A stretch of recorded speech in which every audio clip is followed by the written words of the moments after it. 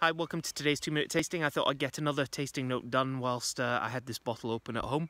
Um, this is the Archaeus uh, 2013 from Ruggabellus. A blend of Syrah, Grenache, um, what else? Mataro, Cinsault, 14% um, alcohol, 2,500 bottles made of it. And um, I thought I'd let you know about it from Barossa Valley. just before I get attacked by all these midges, you can actually see them flying around. I think on the camera. Um, they really are coming at me quite ferociously, but um, the dishwasher's on, so I can't record this in the in the house. So the aroma,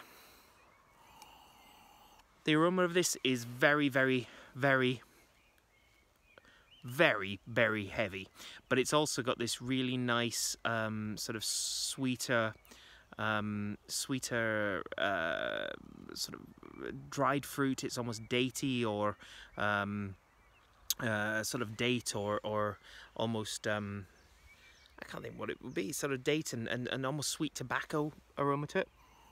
There's a there's a there's a, a real sort of it's almost porty in its in its aroma. You've got that sort of really sort of dark boot polishy uh, coffee tobacco chocolate um, and sort of really sort of rich sweet berry aroma to it as well. These midges are really quite bad. I don't know if you can see these on the on the camera, but they're pretty awful. The palate is it's dry. It's it's it's it's got bitterness to it. There's a load of chocolate and then tar and um, and quite a grip of tannin. Um, there's a midgie in my wine. Um, um, yeah, that tar and tobacco and, and, and leather and, and lots of veggie elements. Then a load of black peppery spice, but then this sort of softer, fruitier uh, note comes through. It's it it's really well balanced, good acidity to it.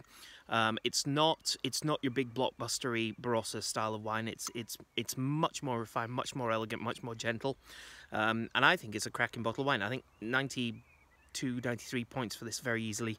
Um, it's on offer at the moment, £29 down from I think 33, 34 so grab it while you can. Um, we've ju we just got a small parcel of it in, so um, so fill your boots whilst it's there. Before I go and before these midges continue to attack me too much, um, uh, if you aren't following us already, please do follow us on on Facebook and uh, and YouTube. Um, the dogs seem to be playing at the moment behind me. I'll let you I'll let you see them. two two basset hounds, happy basset hounds in a garden. That should get us a few hundred more views. Um, I'm going to go in now because these midges are getting really, really bad and they are starting to bite me. Um, have a lovely day and I'll see you again soon. Bye.